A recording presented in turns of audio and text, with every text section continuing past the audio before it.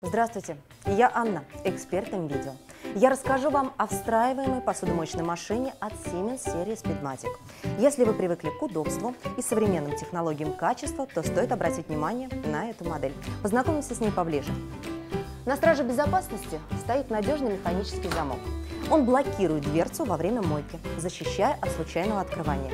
И это особенно актуально для семей с маленькими детьми.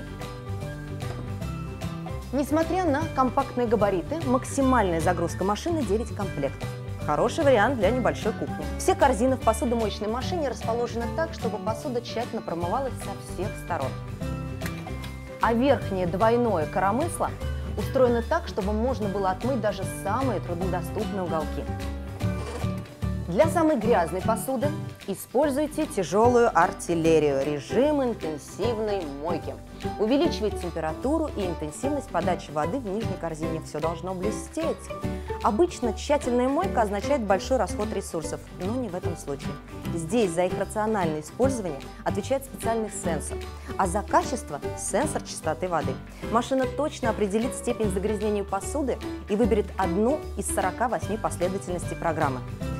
Не доверяете хрупкую посуду машине, а зря. С этой моделью можете не волноваться. Встроенный теплообменник подогреет воду перед полосканием и предотвратит появление трещин от температурного шока. Больше никакого ручного труда. Еще одна полезная деталь. Так называемый луч на полу.